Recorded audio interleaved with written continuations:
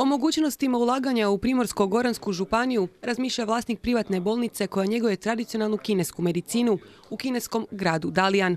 Inače, njegova bolnica nudi svoju liniju zdravih proizvoda, restoran zdrave prehrane, centre za promociju zdravlja te opću kinesku medicinu poput akupunkture i specifičnih masaža.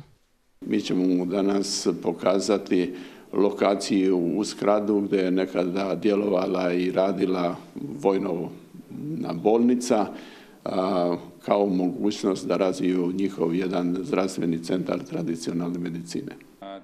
Ja se bavim kineskom medicinom i volio bih to raditi u Hrvatskoj, te podučiti ljude tome i u Rijeci. Ksin je član poslovne delegacije koja je danas posjetila Hrvatsku gospodarsku komoru, Županijsku komoru Rijeka.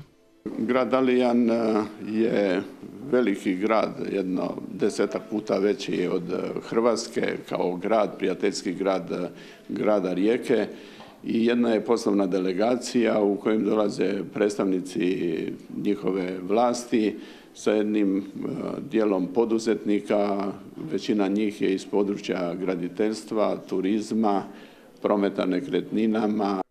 Informirali su se o mogućnostima ulaganja u ovu regiju. U Dalijanu se nalazi glavna luka sjeverno-istočne Kine, a uz to što je industrijsko središte, poznat je po razvoju turizma. Vlasnica sam putničke agencije u Dalijanu. Vidim da u Hrvatskoj ima manje od 5 milijuna stanovnika, a godišnji dolazak turista je preko 2 milijuna. Kod nas to nije slučaj. Mi godišnje imamo oko 500 tisuća turista. Ja tu vidim potencijal u Hrvatskoj, a posebno u Rijeci. Želim dovesti ljude ovdje, želim ljude u Dalijanu informirati o Rijeci. Uz Županijsku komoru, kineska delegacija sastala se i s predstavnicima grada Rijeke. Razgovaralo se o modernizaciji riječkog prometnog pravca, ulaganju u suvremenu željezničku prugu, te privlačenju ulaganja kineskih tvrtki u Rijeku i okolicu. Sporazum o uspostavi prijateljske suradnje između Rijeke i Dalijana potpisan je još 2006. godine.